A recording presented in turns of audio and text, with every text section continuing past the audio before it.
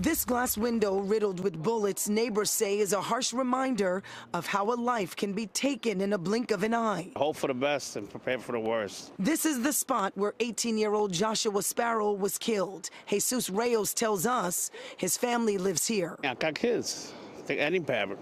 How a parent will feel. It was just after 7 Monday night. Police say it started as an argument in the lobby of this building on Reverend James Polite Avenue in the Longwood section, but quickly escalated. Sparrow was shot in the head and torso. Reyes remembers seeing the teen around the neighborhood. The- You know, how you doing? What's up? How you doing? Good afternoon. A good kid. Can't save a life and it's gone. This was what this is what we deal with on a daily basis in the Bronx. When is it gonna change? Sparrow is the 15th shot and killed in the city in less than a week. Last Thursday, 16 year old Clarence Jones was gunned down in Harlem.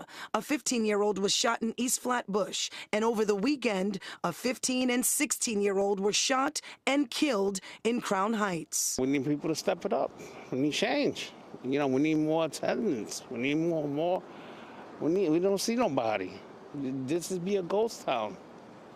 The school's out after five o'clock. This is dead. Groups like Bronx Rises Against Gun Violence or BRAG say they are stepping up, offering teens an outlet, support, and programs, constantly working around the clock to help. But they say they can't do it alone. We have to do better as community members and give out more resources to our youth to make sure they have something to do because the majority of the youth out here carrying today are trying to protect themselves. Also, they say the narrative is wrong. Teens with weapons are using them for a different reason than you may think. The majority of our youth that are walking around carrying any kind of a weapon, they're carrying it as protection. And you heard the community leader there talking about teens picking up guns as protection. The NYPD says leave the protection to them.